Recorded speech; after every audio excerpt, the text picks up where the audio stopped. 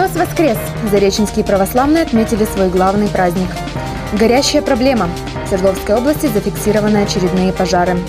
Она не оставила равнодушными никого. Завтра годовщина трагедии на Чернобыльской АЭС.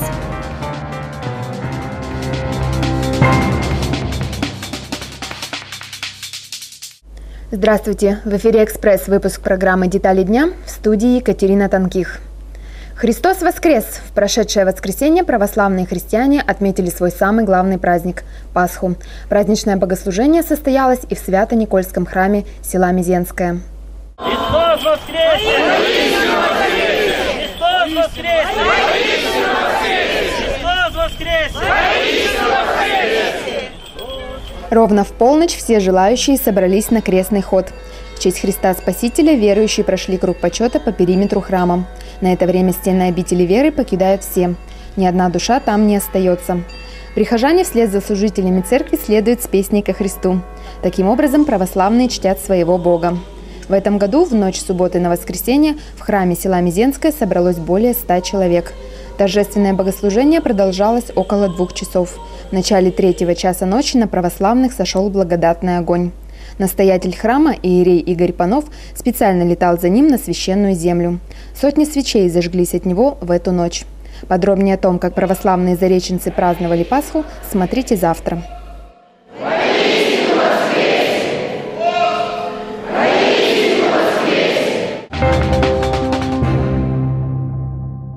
Лесные пожары в Свердловской области продолжаются. Накануне были зафиксированы два возгорания в районе города Каменск-Уральский. Общая площадь выгоревшего леса составила 7 десятых гектара, сообщают европейские азиатские новости со ссылкой на ГУ МЧС области. В настоящее время пламя потушено. Действующих очагов нет. Всего в том году от пожаров на Среднем Урале пострадало уже 25 гектаров леса, сообщает уралполит.ру. На борьбу с проблемой, которая снова грозит стать острой, будет потрачено 800 миллионов рублей, заявил губернатор Александр Мишарин на специальной тренировке МЧС.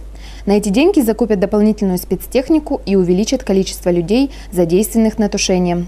Отметим, что с начала месяца на Уральской базе авиационной охраны лесов круглосуточно работает телефонный номер, куда можно сообщать о лесных пожарах в любое время. В ближайшее время в стране произойдут резкие скачки цен на топливо, считают эксперты информационного центра «Кортекс». За последние три месяца горючее дорожало незначительно, но это только затишье перед бурей, считают эксперты. Напомним, после того, как в феврале этого года премьер-министр Владимир Путин раскритиковал расценки на бензин и дизельное топливо, антимонопольный комитет ограничил рост цен для всех российских нефтяных компаний. Компаниям стало выгодно отправлять свой продукт на экспорт, так как мировые цены на нефть росли быстрее российских. Теперь на внутреннем рынке нефтепродуктов наступил дефицит моторного топлива. Уже в мае независимым заправкам придется платить за тонну бензина больше на 3000 рублей, чем сейчас. А это неминуемо скажется на карманах автовладельцев, уверены эксперты. Здоровые и сильные дети. 60% школьников Свердловской области выполняют нормы по труду и обороне на золотые и серебряные значки, сообщает сегодня Интерфакс. Комплекс подготовки к труду и обороне введен в Свердловских школах с сентября 2010 года. Ребята сдают нормативы в беге, плавании, лыжах, стрельбе и силовых упражнениях.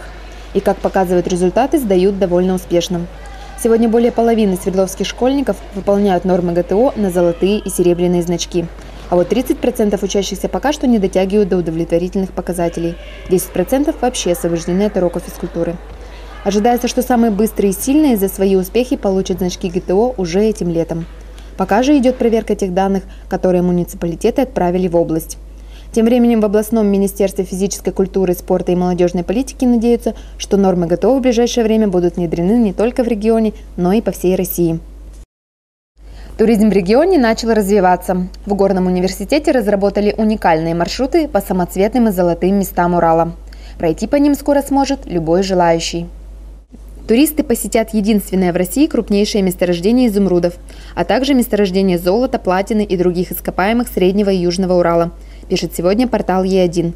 Начальной точкой маршрутов будет Уральский геологический музей, где туристы-любители познакомятся с экспонатами, которые могут встретить во время походов.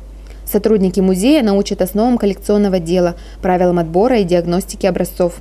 Специалисты также обещают, что все желающие во время экскурсии смогут сформировать свои личные коллекции минералов. У горняков разрабатываются и другие туристические направления, маршруты, посвященные древним вулканам Урала и династии Романовых. Экскурсии начнутся уже этим летом. Завтра весь мир будет вспоминать трагедию на Чернобыльской АЭС. Крупнейшая в истории человечества техногенная катастрофа произошла 25 лет назад. Но до сих пор на Украине, в России, в странах СНГ об этой трагедии говорят с содроганием.